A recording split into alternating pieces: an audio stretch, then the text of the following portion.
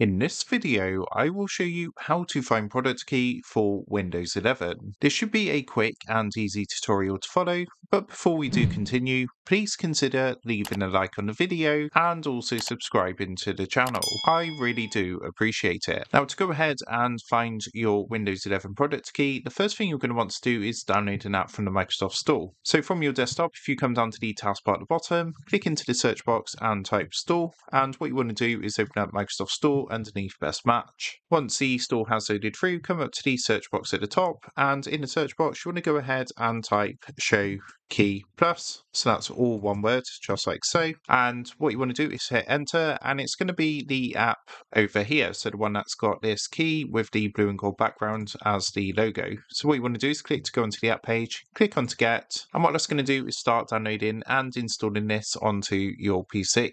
As you can see, ShowKeyPlus has now finished installing, so all you need to do now is click the blue open button. Once you've done that, what's going to happen is a window is going to pop up like this, and it's going to show you information such as your product name, product ID, and of course you're going to find your keys down here, the installed key or OEM key, just down here. So that is how to find product key for Windows 11. With that being said, I hope this quick tutorial did help you out today, and if this did help you out, I would really appreciate it if you was to consider dropping down below the video, leaving a like, and also subscribing to the channel. With that being said, I just want to take a minute thank you guys for watching this quick tutorial, and I will see you in the next video.